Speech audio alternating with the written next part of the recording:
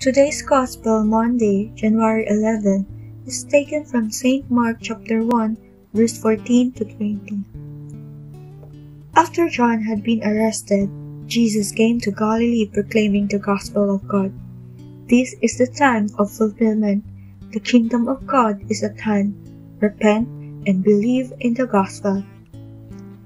As he passed by the Sea of Galilee, he saw Simon and his brother Andrew casting their nets into the sea. They were fishermen. Jesus said to them, Come after me, and I will make you fishers of men. Then they abandoned their nets and followed him.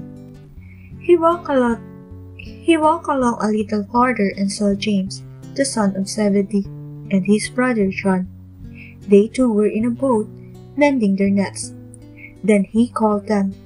So they left their father Zebedee in the boat along with the herdmen and followed him. The Gospel of the Lord. Today's faithful reflection is from Sister Jeng Casumbal.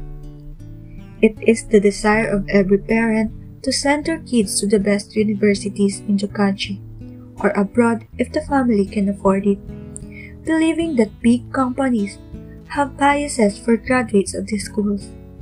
After college, graduates enter the rat race competing for the best job offers and compensation packages. Through the years, they will put on endless hard work to climb the corporate ladder only to find out that it is more stressful and lonelier at the top. And there is where they usually start searching for their real purpose, for real joy and satisfaction. Today, Jesus asked us, Come after me, and I will make you fishers of men. The biggest business conglomerate of saving souls, the Great Commission, is announcing its job opening for you. The great boss is calling and wants to hire you. Don't worry if you don't feel qualified, for he will qualify those who will answer his call. He will empower you when you answer his call.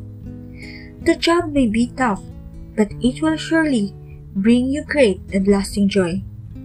So, are you ready to get hired? Let us pray.